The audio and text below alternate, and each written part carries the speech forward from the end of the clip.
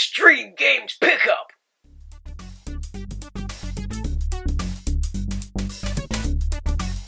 Hi guys, GloryHunter's back with another game haul. Uh, most of these are from Extreme Games in Ashby. We've been over a couple of times, uh, get a few titles. Uh, but first of all, we had a trip to Loughborough again. Uh, went over to the CEX and a few other kind of game exchange places. Uh, one I believe was called Game Exchange or something like that. And we managed to get our first game, Coded Arms, on the PSP. Now I've got the, the sequel, the second one, so well happy to get the first one. 199, all complete. Yeah, so start the series and find out what the first person shooter is like on the PSP. Do have a holiday coming up, so I'll be taking my PSP and trying out all these PSP games we've got. Got quite a few today, so that'll be interesting. Then we went over to the, the CEX, uh, one I don't get to go over to very often, and we've got a few bits in. Uh, so on the original Xbox, we found for a pound Galleon. So kind of a, uh, a pirate's washbuckling adventure from the creator of Lara Croft. Uh, I played it just a few minutes just to kind of see what the deal was with it. Seems alright. Do have this little number here that will easily come off the case or get case replacement. So there we are. Then a game that I knew there was one on the PlayStation, but not on the PlayStation 2, so I don't know much about this, but it's an X Files game. Uh, Resist or Serve.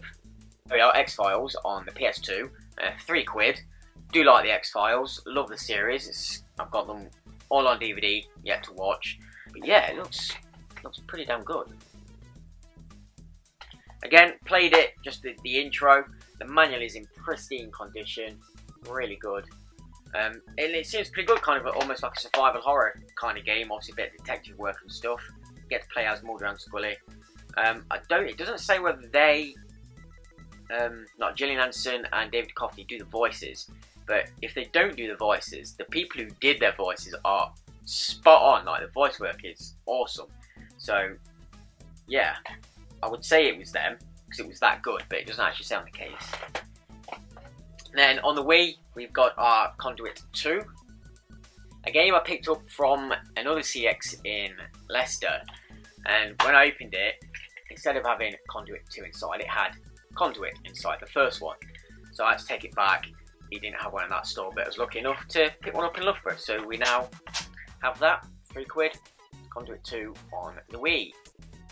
So a good range of games there. And um, we've still got a good range to come. Some more PS2, original Xbox, PSP. So our first trip into Ashby to Extreme Games. Um, just went, just on the off chance, had a quick look around. Only picked up three titles on our first kind of look. We're in a bit of a rush, so we're strapped for time. So now a good look around. Uh, but we did pick up a few games. Let's have a look. Start with this. So just for a quid um, on the OG Xbox, without warning. Yeah, another kind of third-person shooter. Bit of fun. I uh, don't know which one's the best of these. Let's go for our Wii game. It's a Dragon Quest game on the Wii. Dragon Quest Swords. Series kind of trying to get into. These things were a nightmare to get off. Try and get off at some point. Yeah, this was a fiver. It's in really good condition, like almost apart from the stick on the front, like mint condition. It's got all the leaflets and gumph in there. Manual's not even been opened. Absolute spanking new. So yeah. And another one uh, on the PSP. One that I've seen a few times when I've been in there and not picked up this time. I just decided to get it. Like I say, going on already soon, so something to play. Fantasy action RPG. Warriors of the Last Empire. Again, sorry about covering the artwork. Just left them on so I could remember how much I got them for. This was a fibre as well. Manual has a bit of a bend in it, just where it's been folded, but that'll straighten out. It's still in good condition. So another RPG kind of game on PSP. Great uh, games to play on the PSP. Now, our second trip to Ashby in Extreme Games. We got quite a few. So the missus had to take a car in to get some work done, so we had plenty of time to look around uh, town and in Extreme Games. We did hit a few charity shops. They had a, not really too much in there. A lot of HD Blu-rays, you know, like the the 360 had um, in the like crimson red cases. Loads of them around. So if I do pick up one of them HD drives from a 360 at some point, I know I can get some discs. And that's some good films as well. Uh, we only picked up one title from uh, charity shop, and that was 99p Jumanji on the PS2. I've only seen it once before. On the back, it does look a bit crappy. Um, but I put it in to test it out, and I think it can be quite a bit of fun. Four player kind of um, party game. Manual, again, pristine condition, absolutely flat. So, we'll give it a blast for some fun. Add it to the collection. Uh, the only other charity shop we've seen a few bits in, they had two OG Xbox games, both of which I already had. However, they were in mint condition. Like, they looked brand new. Not a mark on them. The cases still felt like, sheeny. You know what I mean? They were just absolutely amazing. I was tempted to pick them up, but they were four quid each. Four quid from a charity shop. For quite a bit expensive, really. Like, you can normally pick them up for one or two quid. So we left them for now. Uh, I don't know, I might go back and get them, see if they're still there. Like I say, they were absolutely mint condition. So they were it's like Pirates of the Caribbean and Brothers in Arms Road Hill 30, I think it was. Had its map in, like, again, not even been touched. So yeah, they were, we'll see. However, in Extreme Games, we had a proper good look around this time, so plenty of time to have a good flick through every single game, every system, see what we got, and we got quite a bit. So, start off with start off with our PS2 stuff. So, on the PS2, we have Pitfall: The Lost Expedition for two quid, and as it says on top, includes Pitfall and Pitfall 2. So we played it a bit. Like I say, I always test them out, give them a blast. Um, it, it, seems like a bit of fun. Third person kind of adventuring game, getting over traps and escaping whatever dangers are around. Again, manual, pristine condition, flat as. So, well happy with that. And then we have Warhammer 40,000 Fire Warrior for 2 quid first person shooter based in the Warhammer world. You play as a Tau soldier, if you know anything about Warhammer. Um, it, but it says on the back, and this is what really made me pick it up, starring the voice talents of Tom Baker and Brian Blessed. Brian Blessed is a legend. No matter what he does, it's going to be good. Um, he just has the most unique, booming voice. So I don't know who he voices, um, but looking forward to see what he does in that game. Awesome. And again, our last PS2 title uh, for two quid again, Legion: The Legend of Excalibur. Yeah, it third person hacky slashy RPG kind of game again. Um, do like this kind of stuff? Says there's special DVD extras, includes behind the scenes footage with Seven Studios and a look at the legend of King Arthur, which obviously is kind of loosely based on. I'll give it a blast, see what, see what that's like. Then, of course, picked up some OG Xbox titles. Uh, we've got four. The first one I picked up is probably the best of the bunch. Four quid, one of the most expensive games I bought on the system so far. Not that I own, I've got way more expensive ones. Uh, but I've been picking up a lot of the, the cheap titles to bulk out the collection first before we start hitting the more expensive ones. But I found this, uh, four quid, and it's one I've been looking for it is Aliens vs Predator Extinction. Awesome. So got a couple of sticks to get off there, but yeah. Now, I put it in, and you do get all three campaigns. So there's a Marines campaign, Aliens campaign, and a Predator campaign. It seems a bit RTS-y, but I don't think it's an RTS. Um, so, yeah, I really need to proper get down and start playing it see what it's like. It seems quite a bit of fun. Can't go wrong, Aliens vs Predator. Again, great condition, nice manual. So that's alright.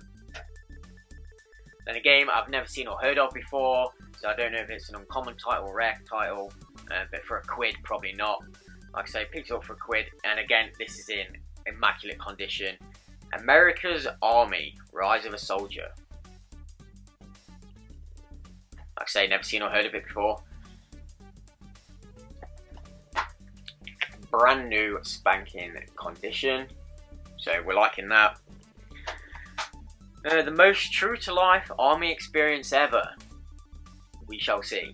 I played the, uh, the kind of training mission. Eh, we'll see.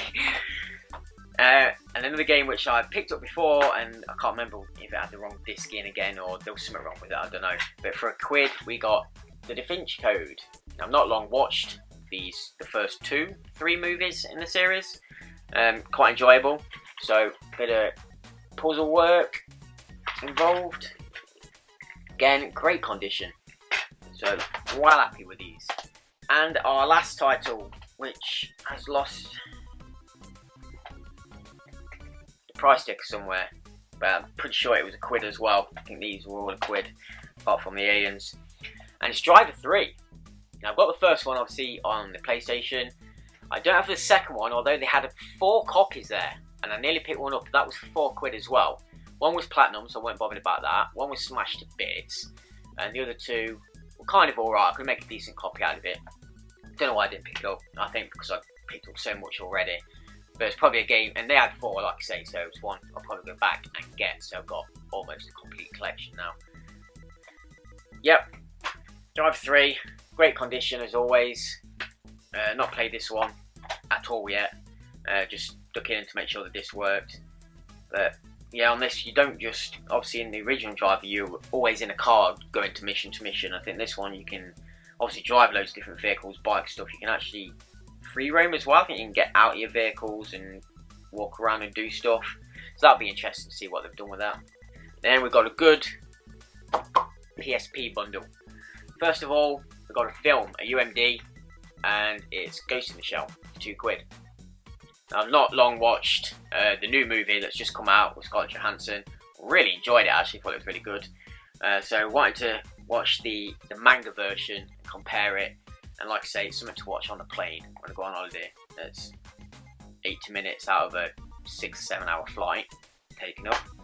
So yeah, and in this one as well, it came with a nice little PSP guide of UMDs. So I'll flip through that, see if there's anything else.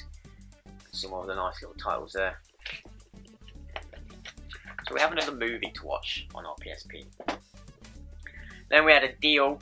It was three quid each or five for a tenner. So we picked up five. We have Grand Theft Auto Liberty uh, Liberty Liberty City Stories. and this comes obviously there's our artwork inside. I'll show you that. We've got a map again of the island, not even been opened yet. Crisp, crisp map, and the manual, which is a nice kind of news paper booklet. Awesome manuals, really nice. And also with that, we got Grand Theft Auto Vice City Stories. And this also great condition. Show you our artwork inside. And this also came with the map in crisp, flat condition. Not even been opened. Awesome. Really nice to get them. And again, nice little booklet of kind of a newspapery feel. So we have both, I think both GTAs on the PSP. I don't think there's any more. If there is, let me know. You can keep an eye out. And again, they had a few copies. Um, a couple of platinum ones. I picked up one of the platinum ones because it's absolutely brand new. Uh, they had one that wasn't platinum, but it was damaged. And I know you could change the case, which was smashed up, but the actual inlay was uh, water damage, so it was, yeah, it was, wasn't worth it. So we've got Killzone Liberation.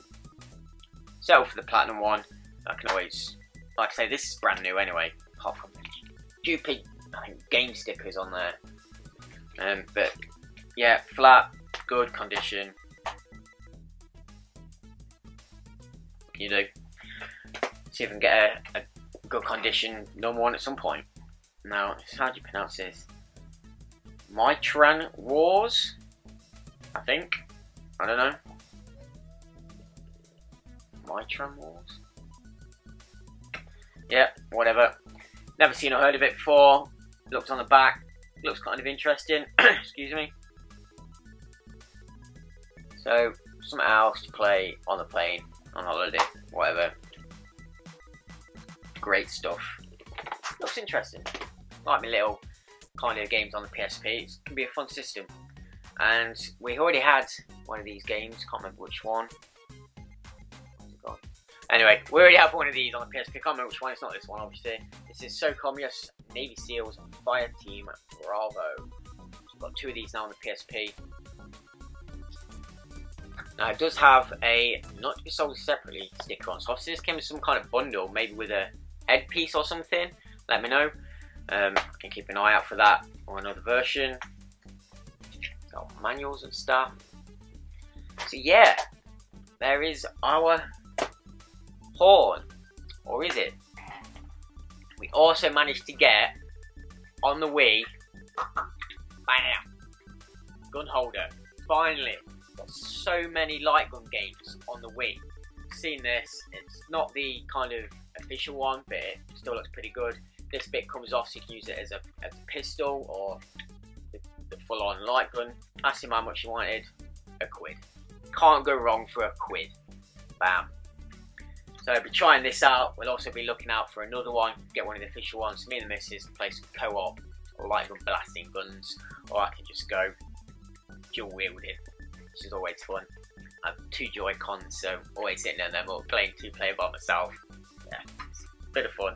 Always good. So yeah, this also has a, a uh, kind of a battery pack. So I don't know if it's got a rumble feature or something in it. So that'll be interesting. I've not tried it yet. Get that blast later. And because they had a they had a promotion on where was it? And if you spend five quid this week, you got a poster.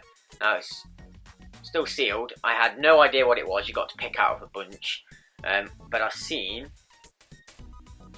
the city on it. So I thought, well, it's going to be an Elder Scrolls Skyrim or Fallout, I should imagine.